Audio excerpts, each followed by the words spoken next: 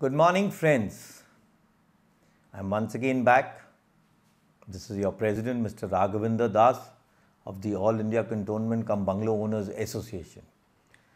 Today, I will speak on a policy which was drafted way back in 1957. And you will be surprised this policy was not in the hands of the Ministry of Defense. When I met the MOS Defense along with the Defense Minister, they were stunned bound that this policy existed. Now, what was this policy made? By the first Defense Minister, the government agreed on this policy, and you will be surprised to know today that a law can be repealed, but a policy cannot be. Always, what a government can say is that we are not adhering to this policy anymore. So, a policy once drafted is a law for always and government cannot revert back that they never thought about it. So the draft of the policy speaks like, on a very simple note, I will speak, that it says, let's convert all lands within the cantonment boundary pillars of these 57 cantonments into freehold. I am again saying all lands now, in 1957, we had a civil area of the 1938 Rule 2 and we had a bungalow area. Now, this policy very clearly said if a bungalow on either sides, either on old grant, second, either on lease on both the sides, bazaar or bungalow area can be given on freehold. But what will the government charge for it? Friends, the same policy can be seen on the website of the association if you go on it. So I'm now going to show you the uh, policy. This I would request all of you to go on the website. In the speech which I had spoken earlier in 1955, the then Prime Minister had very clearly said, let us abolish Commander-in-Chief post which we inherited from the British and let's go by an army council system things didn't be uh, things didn't come through. So then Mr. Krishnan Menon moved this policy, and this policy was converting these grants, OGBs, into freehold. What were the terms of this grant? Some people think it is only for civil area because yet the policy there is for civil area. But has this policy for bungalow area become redundant? How can the government come up and say that it has become redundant? This policy, if you merge into the SK Bose Committee report of 2020, it very clearly says that even today on financing or funding or budgeting of grants for the cantonments is a big financial exchequer expense. This was way back in 1957 also, which had only been 10 years of our independence. And the resources were to be used in the right way. So even today, these lands, these old grant properties can be converted, they can be sold, the HORs present holding on to them can buy them out and this will, this entire amount which comes will be credited to the cantonment fund. And this cantonment fund is for the betterment of the cantonment.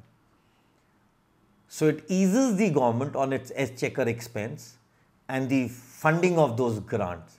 Everything can be stopped.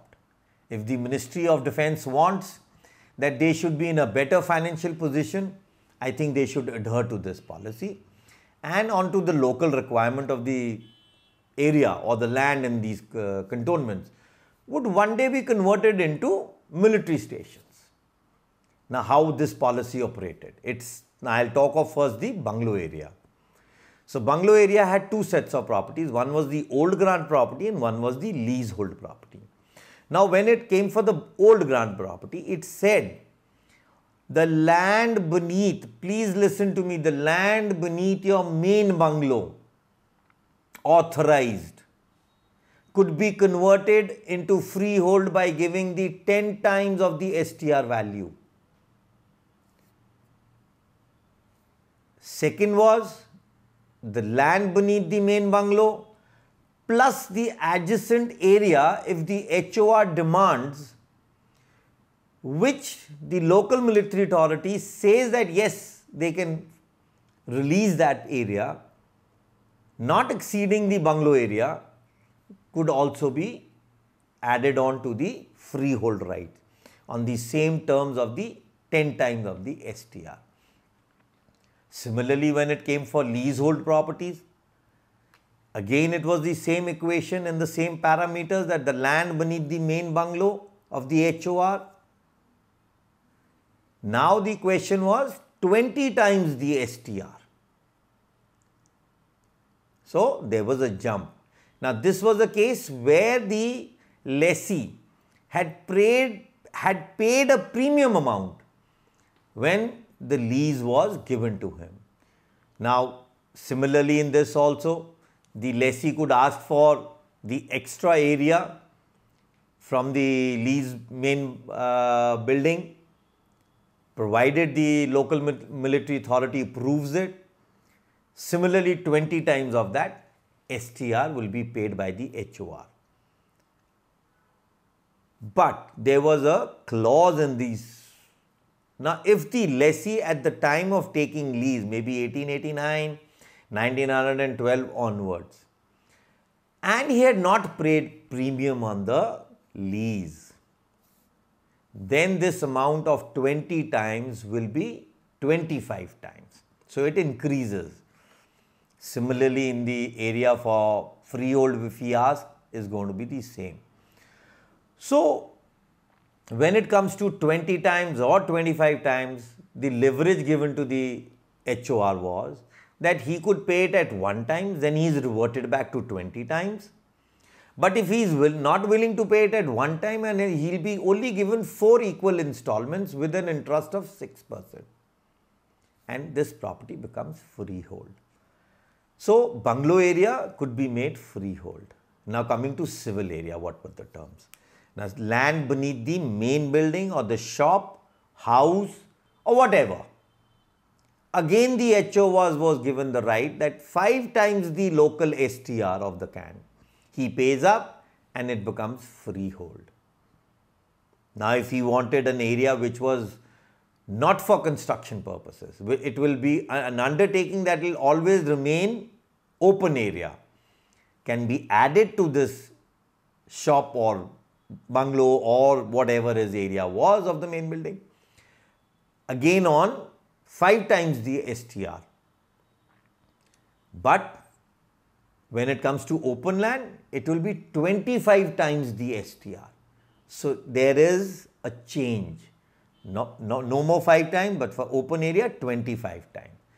Now, if it is a leasehold property in the civil area or the bazaar area, the terms are same. Below the below your main building or shop, what is your area? You pay 20 times of it of the STR, provided if you have not paid premium.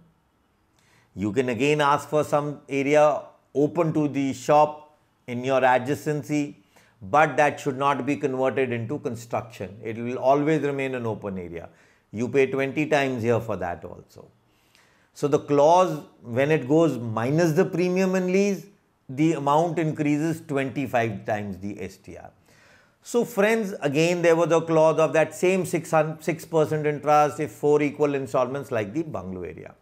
Friends, this policy is very important and we can always brush to the system that when this policy existed, now it has been made redundant.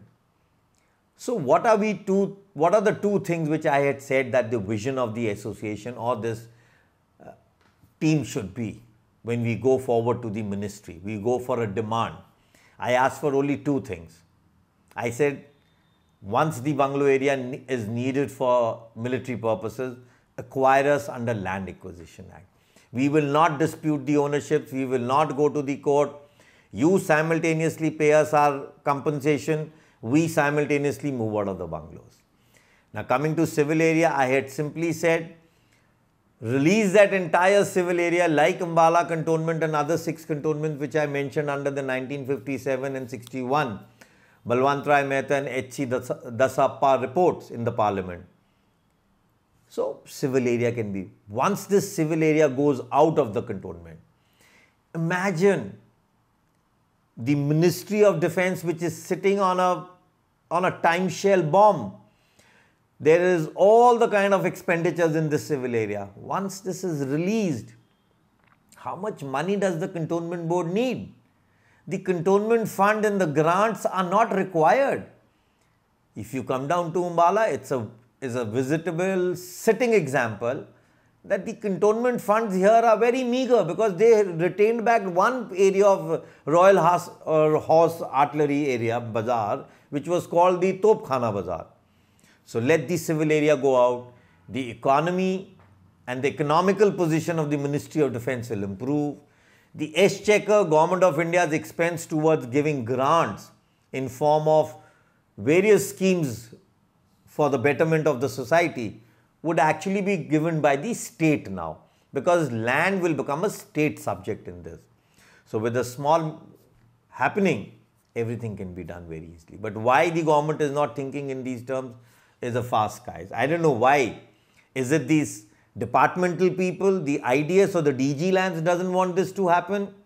Because they have their own desires and whims and fancies to hold back to this area. This area is not at all for use of the military. So why are they holding it back? So there's a question mark to this holding back. And regarding bungalow area, I very clearly said our demand is you want our bungalow for specific defense purpose, but not for making an horse riding club or a school or a pole vault game holder. Army should not be doing these two or converting it into an army mess. These are not specific defense purpose or public purpose. Let the army come and acquire it, we will renderly give it to it. So this 1957 policy would actually ease everybody. And the disputes, the lingering on in the cantonments, various number of cases. I was just seeing on the uh, Government of India's site, limb.com, uh, government in, where all the court cases of the cantonments are uh, exhibited. We have more than about 3 lakh cases going on. So what are we doing? Friends, let's get up. Let's put this demand of the 1957 policy ahead. I would only say now in my closing comments, I'm always available. Any information, any guidance towards your bungalow, towards your leasehold property, I'm always there. You can call me 24 into 7 on the number given below you. Please do not feel hesitant.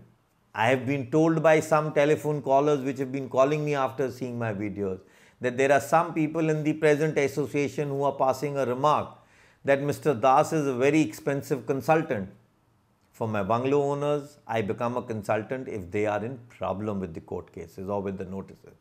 Prior to that, I'm only looking for their evidence. I'm only looking for their guidance. I only built up your evidences so that tomorrow when you face anything, you do not have a problem. So please don't hesitate.